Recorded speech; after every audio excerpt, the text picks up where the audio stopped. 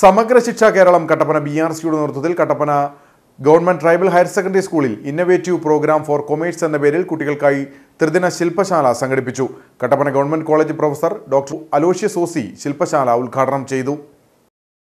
Higher secondary ഒന്നാം വർഷ വിദ്യാർത്ഥികൾക്കുള്ള idea ഇരുപത്തിമൂന്ന് ഇന്നൊവേറ്റീവ് പ്രോഗ്രാം ഫോർ കൊമേഴ്സ് ത്രിദിന ശില്പശാലയാണ് Kattappana government tribal higher secondary സ്കൂളിൽ വെച്ച് നടന്നത്.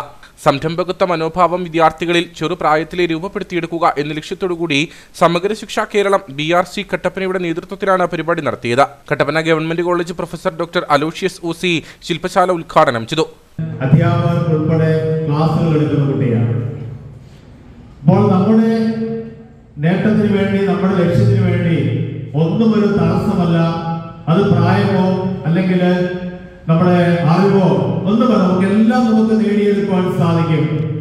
നമുക്ക് ലോകത്തെ മാറ്റിമറിക്കുവാൻ സാധിക്കും. നല്ലൊരു സംരംഭകനായി കഴിഞ്ഞാൽ ലോകത്തിൽ വലിയ ചലനങ്ങൾ സൃഷ്ടിക്കുവാൻ സാധിക്കുമെന്നുള്ള ഉത്തമ ഉദാഹരണമാണ് നിങ്ങളുടെയൊക്കെ പകുതി പ്രായമുള്ള ആ ഒരു കുട്ടി നൽകുന്ന ഊർജം ആ കുട്ടി നൽകുന്ന പ്രേരണ എന്ന് പറയുന്നത് S C R T director doctor R K Jayaprakash കുട്ടികളുമായി സംവദിച്ചു. Shajimon K R Sajimon K J Binson Joseph Dhanya Suresh A B Abraham എന്നിവർ സംസാരിച്ചു.